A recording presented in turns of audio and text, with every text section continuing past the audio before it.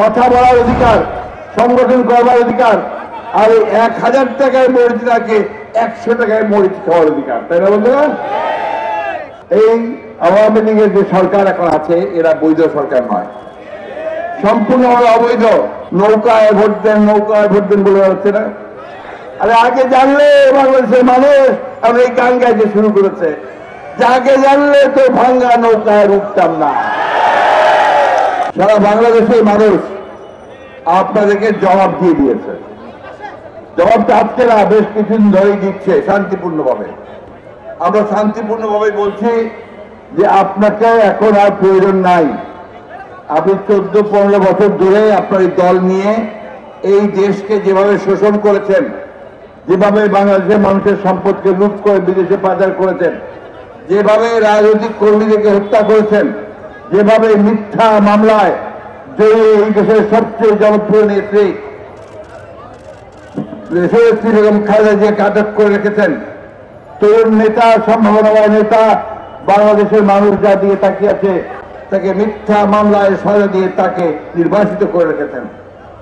আমাদের প্রায় চল্লিশ লক্ষ মানুষের মধ্যে মিথ্যা মামলা দিয়েছেন। তা থেকে আন্দোলন ঠেকানো যাচ্ছে। ছয়শো মানুষকে গুম করেছেন। সহস্রাধিক মানুষকে হত্যা করেছেন। তা থেকে আন্দোলনকে বন্ধ করা যাচ্ছে? এই আন্দোলন হচ্ছে আমাদের প্রাণের দাবি, বন্ধুগণ। কথা বলার অধিকার, সংগঠন করবার অধিকার, আর এই এক হাজার টাকায় মরিচ রাখে একশো টাকায় মরিচ খাওয়ার অধিকার, তাই না, বন্ধুগণ? বন্ধুগণ, আজকে চাল, ডাল, তেল, লবণ প্রত্যেকটা জিনিসের দাম অস্বাভাবিকভাবে বেড়ে গেছে। ওই যে আমার সামনে আমার রিক্সা ভাইয়েরা এখানে বসে আছেন সব রিক্সা থামিয়ে এখানে দাঁড়িয়ে গেছে। তাদেরকে জিজ্ঞেস করেন, আমি আজকে এই অবৈধ সরকার, অবৈধ প্রধানমন্ত্রীকে বলতে চাই। আপনি আসুন। দেখুন, এই সাধারণ নামের শ্রমিক ভাইয়েরা কি বলে?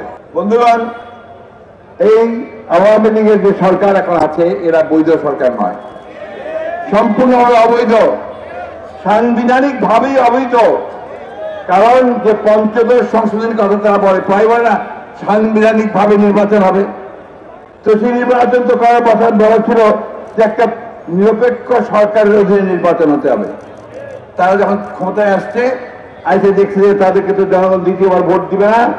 সেই জন্য তারা সেটাকে পরিবর্তন করে দলীয় সরকারের অধীনে, অর্থাৎ আওয়ামী সরকারের অধীনে নির্বাচন হবে।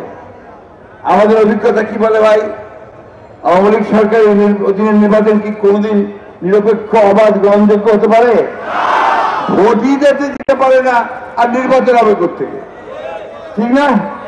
আমাদের মনে আছে সেই শফিল আলম প্রধানের কথা, যে চোদ্দ দুই হাজার সালে ভোট হলো। ওরা তো খুব ডাক গোল পিটায় একান্ন জনকে বিনা ভোটে নির্বাচিত করে নিয়ে আসলেন, তাই না?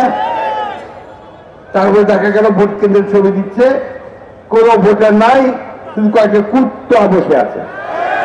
আলম প্রধান ওদেরকে ঠাট্টা করে বলল যে এটা কুত্তা মার্কা নির্বাচন। এটাতে আমার ওদের খুব গায়ে জ্বালা লাগছে। আমাকে বলছে, উনি এই কথাটা বলতে পারলেন। আরে, তোমরা করতে পারো বলতে পারব না। তোমরা কাম করছ তো খারাপ। তো খারাপ আমরা খারাপ বলতে পারব না? বন্ধুগণ, এইবার ভয় পাইছে। ভালো রকমের ভয় পেয়েছে যেভাবে কথাবার্তা এখন আর সামাল দিতে পারে না। এমন এমন কথা বলে যে আপনার সার্বভৌমত্বের বাইরে চলে যায়। আমেরিকা ফিরে এসে এমন ভয় পাইল, বলে আমাকে দুই মিনিটের মধ্যে সহায় দিতে পারে। বন্ধুগণ, আজকে এত ভয় পেয়েছে যে এখন ওই জন্যে উনিশশো দুই হাজার চোদ্দ সালে এই কাজ করেছিল। দু হাজার আঠারোতে নির্বাচনের আগে দোষরী বেগম খালেদা জিয়াকে কারাগারে আটক করেছিল, তাই না? এখনও আটক অবস্থায় তিনি আছেন। এবং সেদিনও গায়েবী মামলা দিয়ে আমাদের হাজার হাজার নেতা কর্মীকে জেলে পুরে দিয়েছিল আজকে আবার অনেক আগে থেকেই, নির্বাচন তো শুরু করছে আগে থেকেই। নৌকায় ভোট দেন, নৌকায় ভোট দেন বলে হচ্ছে না? আরে আগে জানলে বাংলাদেশের মানুষ এখন এই গান গাইতে শুরু করেছে, যে আগে জানলে তো ভাঙ্গা নৌকায় উঠতাম না। বন্ধুগণ, এই ভাঙ্গা নৌকায় লোকে আর উঠবে না।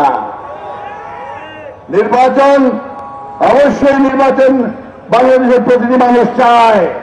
সেই নির্বাচনে তারা ভোট দিতে চায়। সেই নির্বাচনে অবাধ নিরপেক্ষ সরকারের অধীনে হতে হবে। কারণ প্রমাণিত হয়ে গেছে যে হাসিনা সরকার থাকলে, অবৈধ সরকার ছাড়ে কোন নির্বাচনী সুষ্ঠু, অবাধ, গ্রহণযোগ্য হবে না। এখন তো কাজ সাথে এই আমার পুলিশ ভাইদেরকে বদলি করে, এসপি বদলি করে ডিআইডি বদলি করে, ম্যাজিস্ট্রেট বদলি করে, ইউএনও বদলি করে, ওসি বদলি করে কোনটা তার নিজের, সেটাও বুঝতে পারে না। সব নিজের লোক বোঝাইতে চায়। ঠিক না? এটাই হয়। যখন ততনের সময় আসে, তখন আর কেউ নিজের লোক থাকে না।